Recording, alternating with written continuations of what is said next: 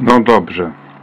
Nagram krótki odcinek, bo nie wiem jak to zrozumieć, słuchajcie. Dorwałem tam takie czasopismo stare, starodawne, z tam nie wiem z którego roku, tam 20 któryś. Tu mamy dwa magnesy neodymowe N i tu mamy S. To jest krążek bodajże z ZRK z Unitry. Dobra, nie będę tego komentował, sami zobaczcie, żeby była jasność. Nic tu w koło nie ma. Tutaj mam magnesy neodymowe właśnie, których tutaj użyłem.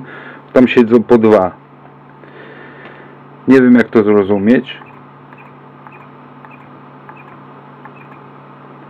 Dwutakt, nie? Siła magnesów. Zobaczcie, jakie tutaj wysokie jako przerywacze do cewek.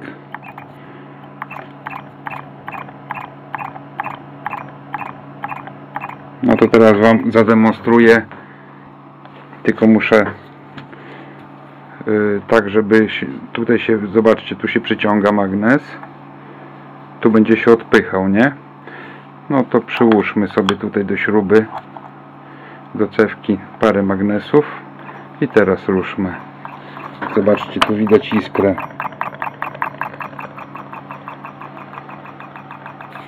Jak to kurwa zrozumieć?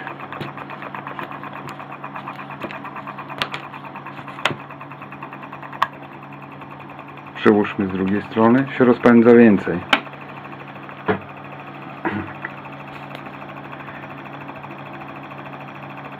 Ciekawe do jakiej prędkości to osiągnie co się z tym stanie, aż, aż się rozerwie.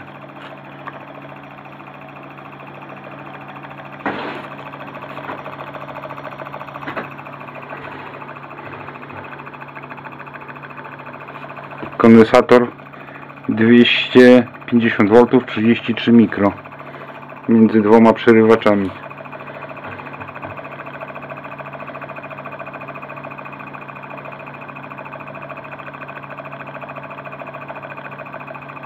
No nic, zostawię na noc, zobaczymy co będzie.